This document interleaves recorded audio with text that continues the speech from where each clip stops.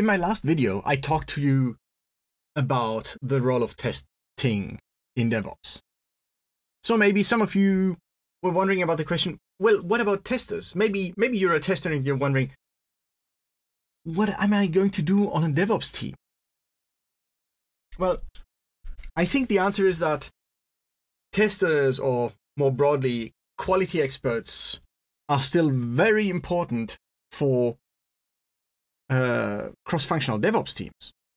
It's just that they are not the guys or girls who write the tests. They, you know, you know, maybe they do to some point, but I think more importantly, they are advisors to the rest of the team. They support the entire team in not forgetting about quality.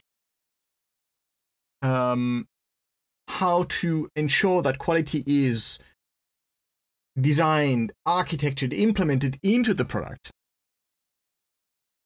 How to ensure testability.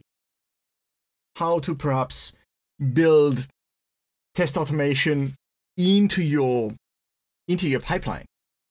So a tester is still a you know still a person. A QA expert is still a person, but they don't work on systems as much or on products or something like that. They work on people. They work on sharing their knowledge, sharing their perspective, being the champions for quality within the team and within the organization at large. Ensuring that you end up with something important, something valuable, something useful. And, you know, as the case may be, that may mean that they will write a couple of tests because, you know, they, they're good at it and I suppose they enjoy it. But more importantly, I think they will offer to their teams the perspective and the practical skills for everybody to do their part.